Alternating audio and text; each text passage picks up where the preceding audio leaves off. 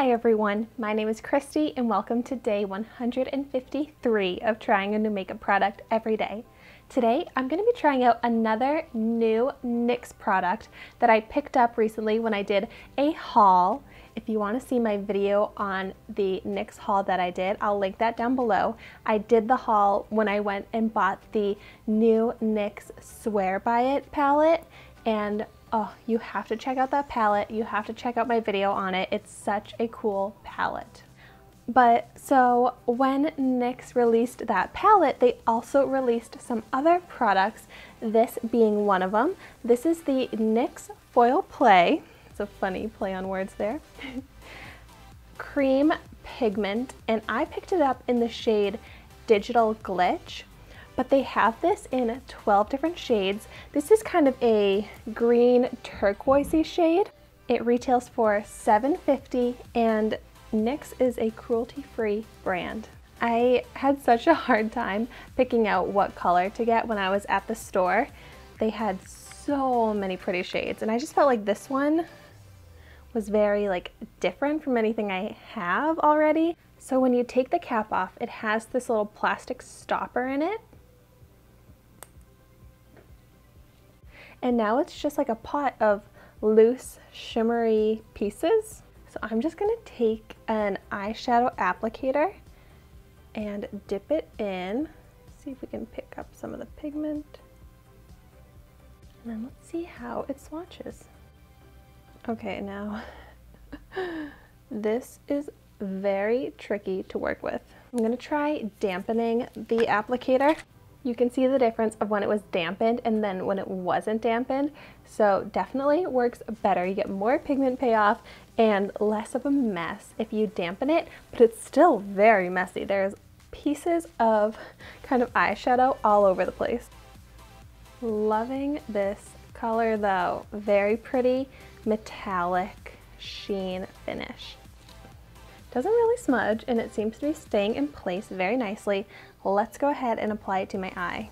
For this video, I'm just going to apply it to my entire eyelid so we can really see how it performs, even though I think typically this would go with other eyeshadow colors. Just gonna dampen my brush again.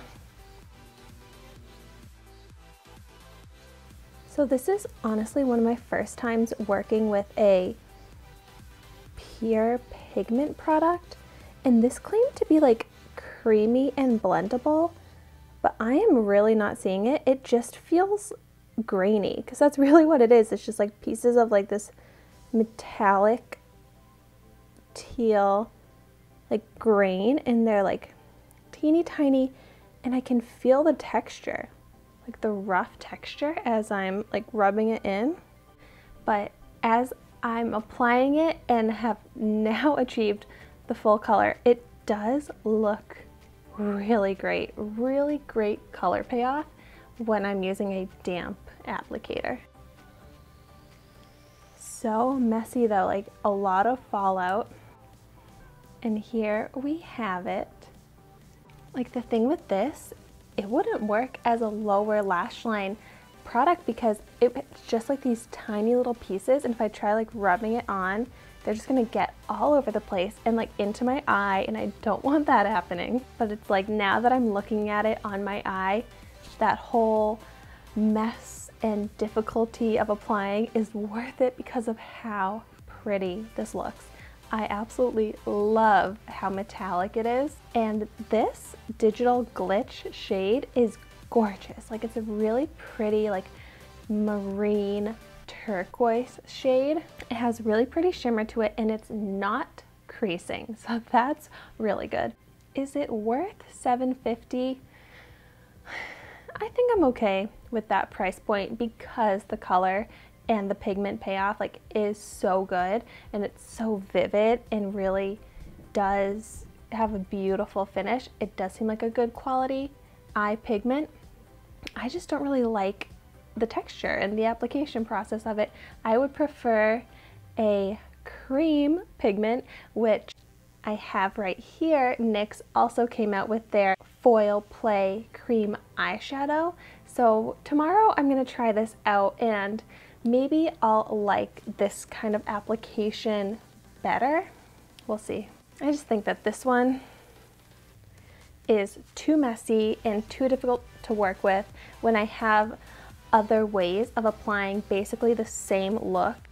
Like I personally would choose a cream eyeshadow, an eyeshadow pencil, or even just an eyeshadow out of a palette before I'd ever choose to apply it with this like tub. Let me know in the comments down below how you feel about loose pigment type of eyeshadow products.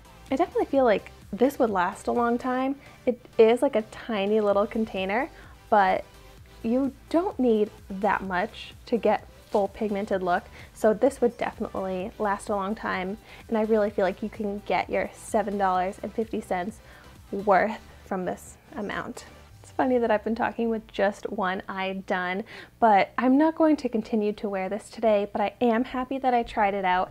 And now I can say I've tried out a pigment. So that's also exciting to me to be trying a whole different new type of product. Thank you so much for watching my video today. Be sure to like, comment, and subscribe to my channel so you can see the makeup that I try every day. And I will see you tomorrow in my next video.